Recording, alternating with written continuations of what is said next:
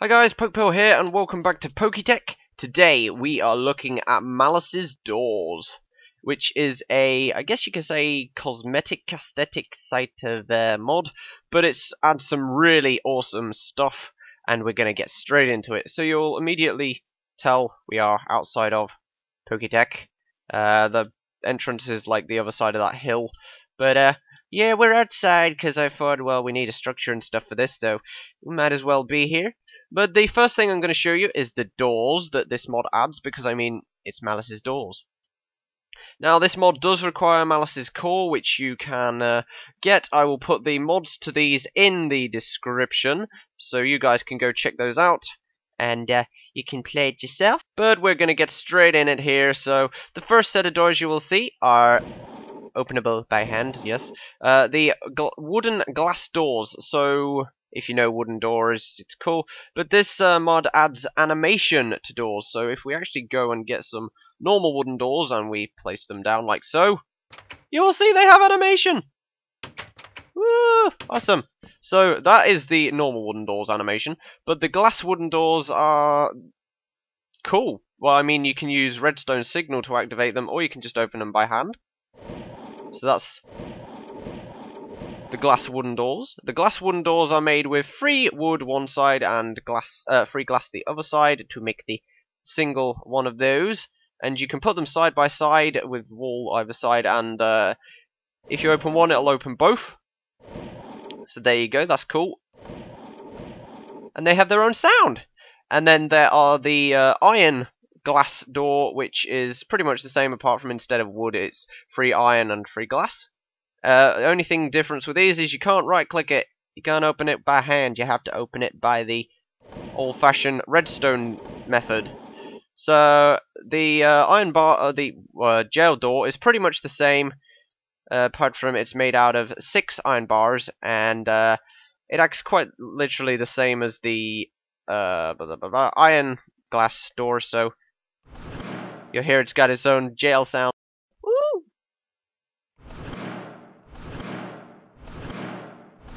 Sorry, I could do that all day. But these act just like the iron ones where you can't actually right click them. Now we move on to the, the factory door. Now these are made by two gold at the top, two gold at the bottom, and iron in the middle. Because, uh, I mean, the gold stands for which way the doors are going to open, basically, with this. So you can put these side by side, and they will both open if you give them redstone signal, or if you right-click them. So if we... Oh, listen to that sound that's the factory door. So you can still click on it, or you can activate it by redstone. Whichever way, it works perfectly fine, and it is awesome. So, that is the factory door. Now we move on to the laboratory door. This is a up uh, only one, so you can't actually put these side by side. These don't work like that. But uh, this is two gold and four iron, and you can get a laboratory door.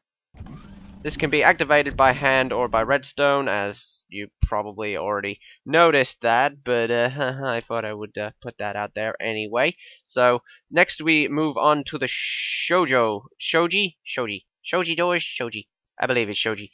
But uh, yeah, the Shoji doors. doors.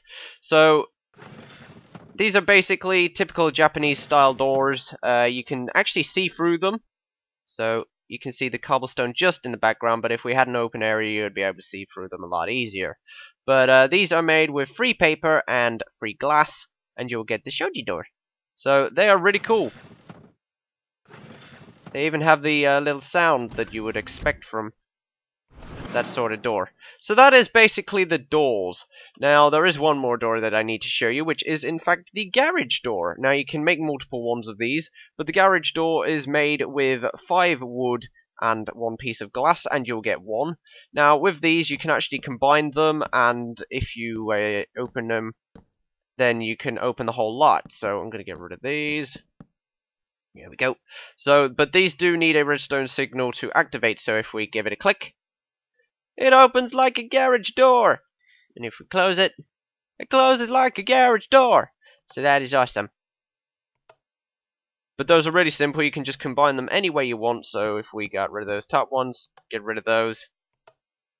Yeah, so that's basically how the garage door works. And uh, so on. Like that. So that's cool. I like the garage door. They're really well. I guess they don't really add much because I mean you don't have garages in Minecraft, but it's still cool. It still works and it's awesome. So that is awesome. That is the basics of the doors. Now we are going to move on to some more technical stuff. Which first thing I'm going to show you is this little thing, which is the player sensor. Now what the player sensor does, if you're near it, or if a player is near it, then uh, it will activate and give a redstone signal. So you can see there it's activating a redstone signal. Now these are uh, placeable on any type of, well, not any type, because I mean you can't place it on glass or anything, but uh, they're placeable on ceilings, so you can put the one up there. They're placeable on floors, so you can put one down there, and they're placeable on walls, so I got one there. But how these work is if you put one on the floor, and you can see this now. If I put one on the floor, I have to stand on it, and then it will signal. Same with if you put it on the ceiling. It's a straight up down signal. Whereas if I put it on the wall, it's basically a free by uh, free area. So if I was, well, I'm technically on this block in front of me right now, so it will activate. And the one that is placed on is basically uh, like here, this like air block, where it is at the moment.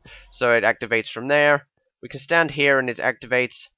And I mean, we've got one here, so it'll activate. But otherwise, that one wouldn't probably, uh, the other side, about here, wouldn't actually properly activate.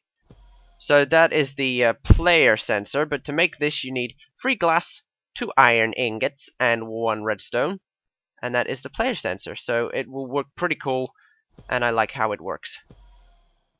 So that is cool. Now we're going to move on to the different things that actually make this mod really awesome. So we've got vanishing blocks, and there's four different variants of this. There is wood, iron, gold, and diamond. Now these are made similarly the same, but they have completely different mechanics to each other.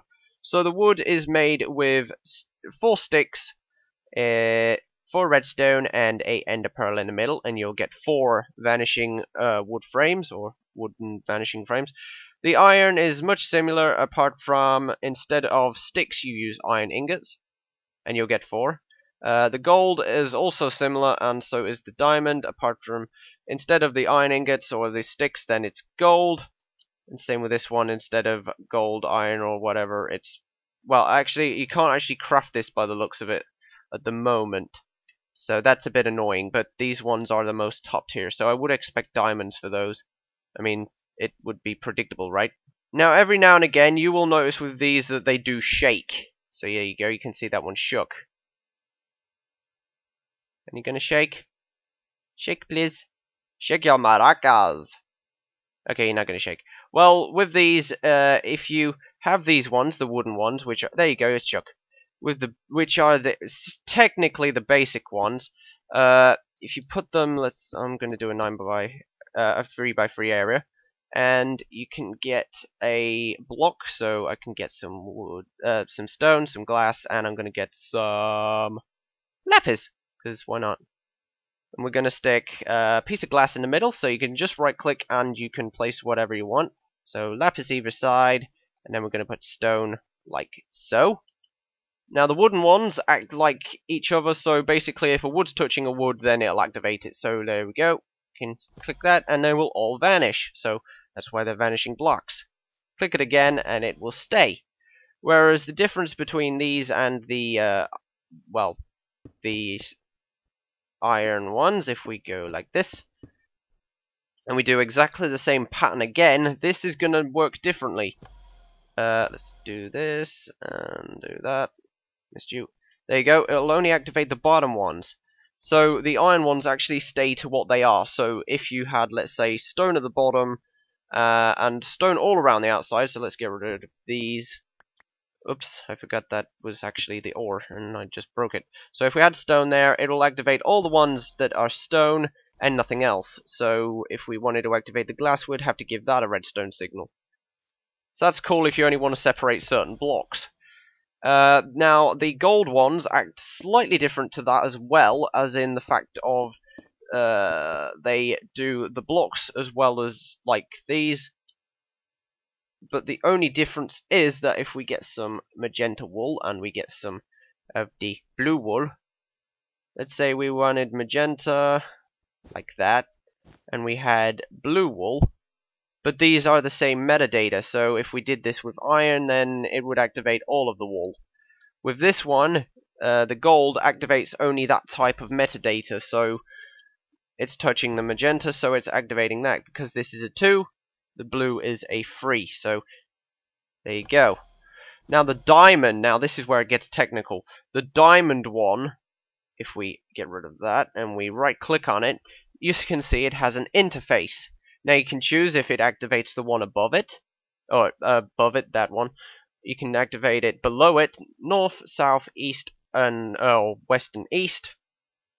Now let's say I wanted the one above it to activate, because I mean if we didn't have this active then there you go, it can only activate the one that it's touching, so if we pressed up, it'll activate both. So that's cool, I like how that works.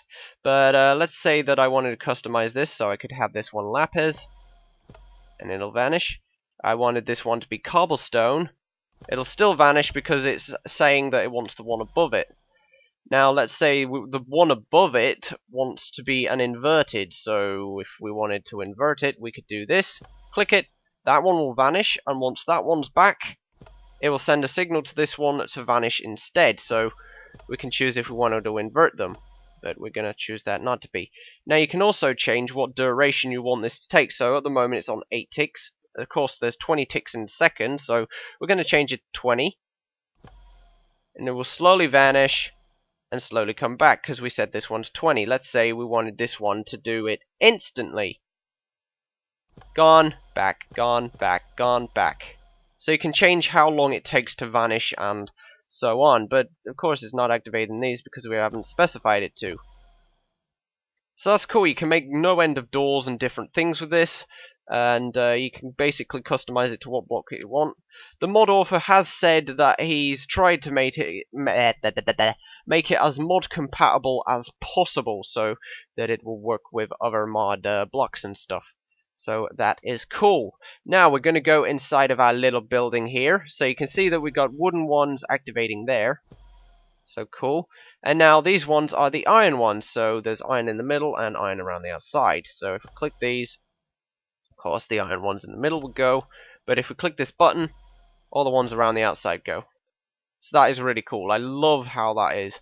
But uh, yeah, so that's the basic things. And of course the golden ones only activate their metadata.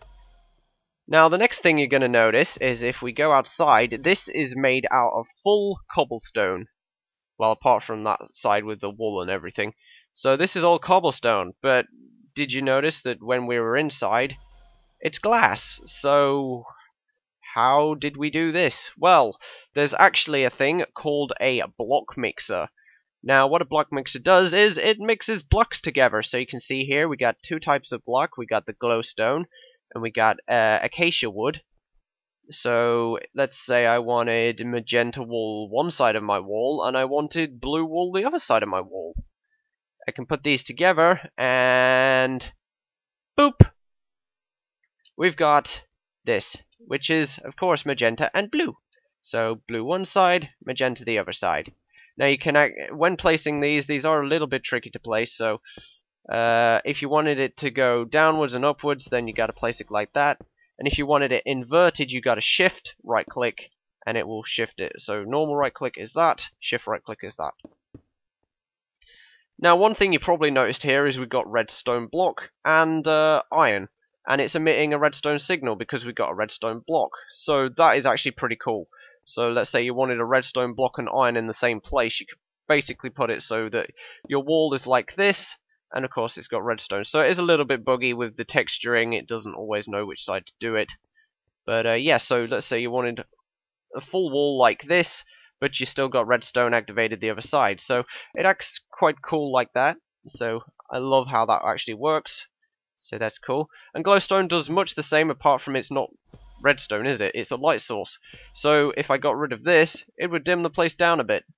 But if I put it back in, it lights it. So that's how we lit this outdoor area. If it was night time, you would see all of these are actually lights. So glowstone activates like a light source, and redstone activates like a normal redstone block. So that is all cool and good. But now we're getting to the really cool part. I mean, we had block customization where you can have two-way blocks, or you can customize however you want your walls. So, I mean, this place, this could be like fully made out of glass, and no one would know because the other side it was cobblestone. But uh, yeah, we can actually customize our own doors. So if we go in here, you'll see the door factory. I didn't show you how to make the block factory, did I? No!